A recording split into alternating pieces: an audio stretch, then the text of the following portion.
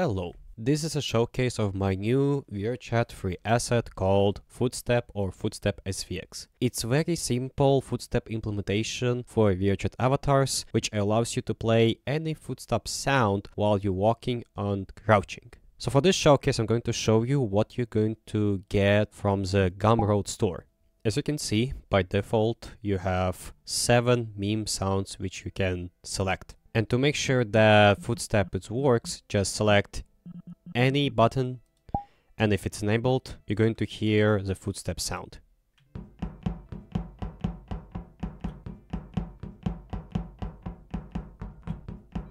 Let's check another examples.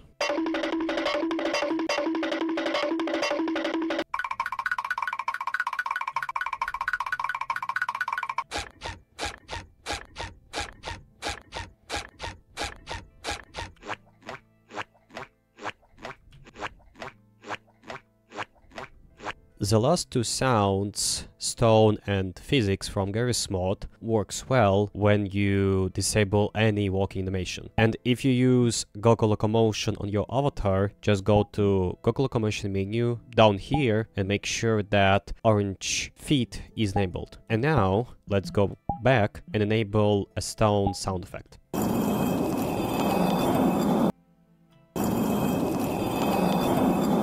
Okay, what about a physics?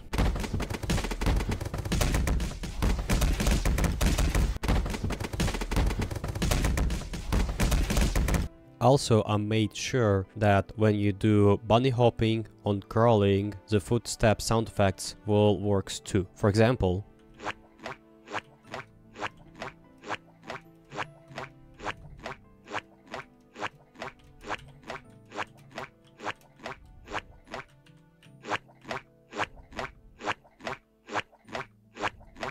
Now let's go to the Unity and understand how to set up it and add your custom sounds.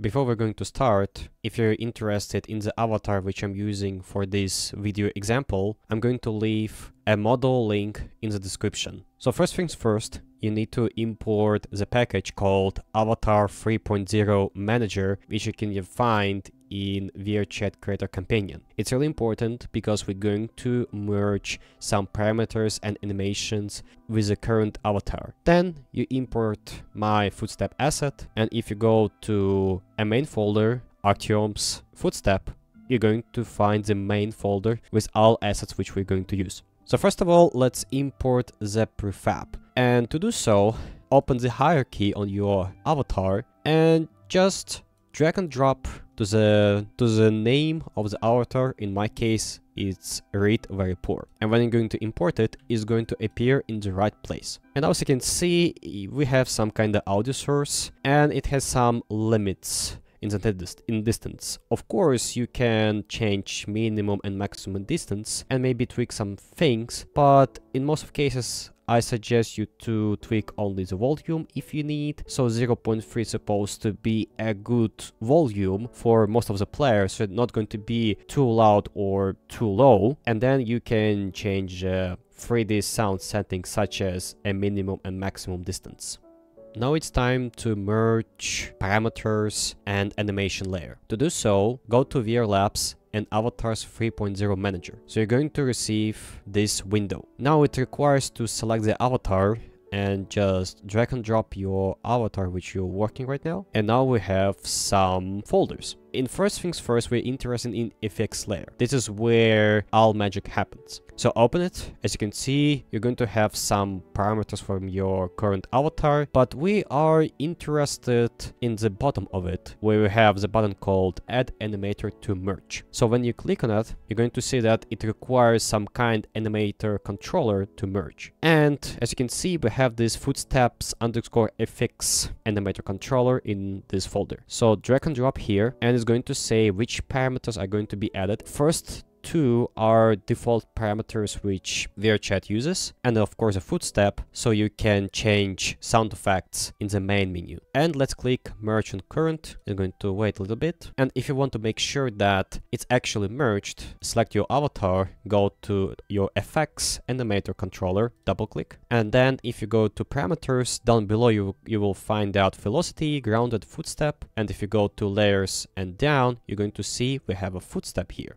Now we need to do one thing before we're going to move forward and we need to revive a driver parameters. I'm not really sure if it's Unity bug or AV3 manager, but when you merge the animator, the v, for example, any driver from VRChat, for example, animator play audio doesn't have any parameters which I set before. But in this case, we're going to revive it with some black magic. And if you're going to notify, we have footstep FX driver in the folder, and that's pretty much a pre preset for this one. So if you want to apply the preset, just hover where the animator play audio says, go to the right side, there's going to be icon which looks like a settings, middle one between question mark and three dots, and then it requires you to select the preset. And as you can see, just select this one and close the window, and here you go. All parameters are on the place. And you pretty much can guess how audio plays and how you can set up your custom sound, but that's going to be a little bit later in this video. Now let's come back to AV3 Manager and this time we're going to this tab called Parameters. And now we need to add one parameter to this avatar so you can select any sound through main menu. As you can see, down below we have parameters to copy. So we need to select expression parameters. And as you can see, we have footstep parameters. Just drag and drop here and it says additional cost is 8 because there's only one integer which we're going to use. Then press copy parameters and now as you can see, we have a footstep.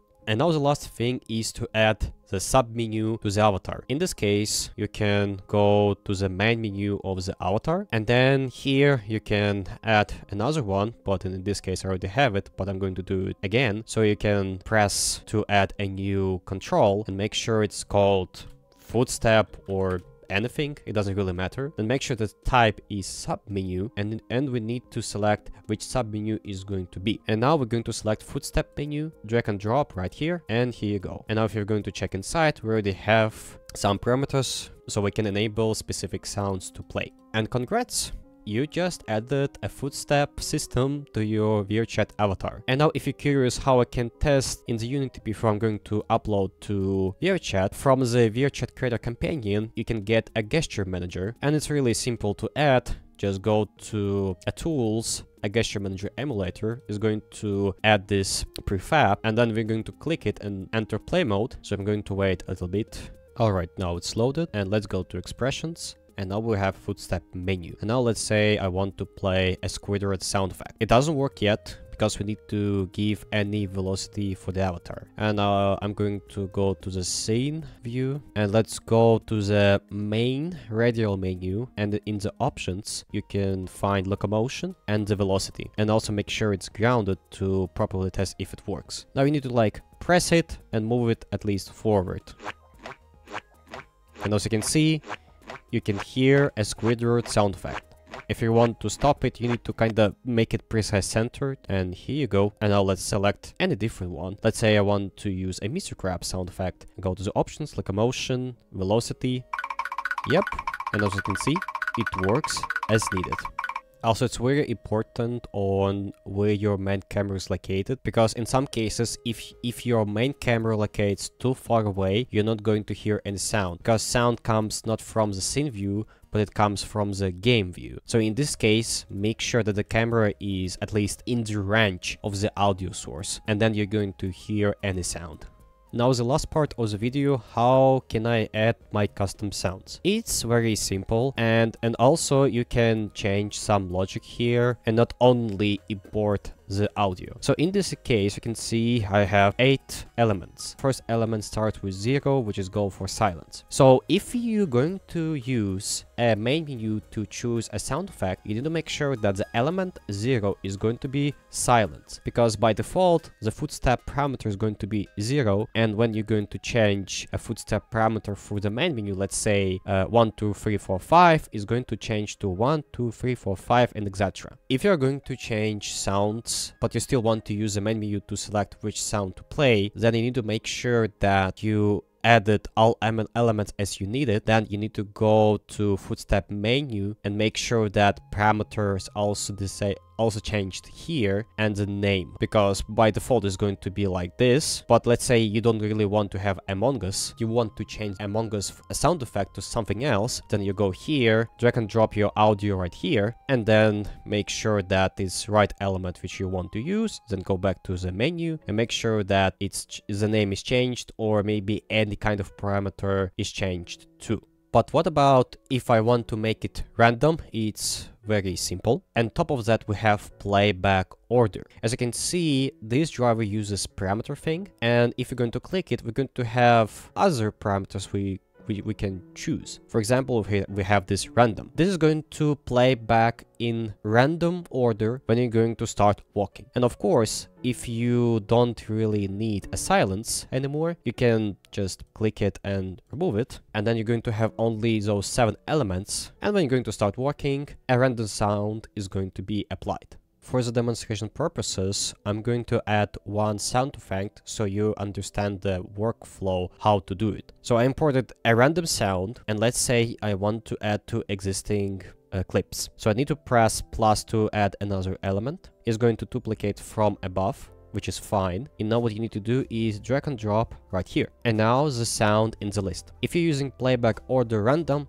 then you don't need to do anything else. But if you still want to use a menu to select which sound you want to play, then you need to make sure that you go back to the sub menu and in my case I have one more controller to add and I'm going to choose for example test and make sure it's toggle and the parameter is going to be footstep. And how do we know which number to use? It's very simple. So since it's element 8, then the integer is going to be 8. Now let's go back to the menu and just write it down 8. And now here you go.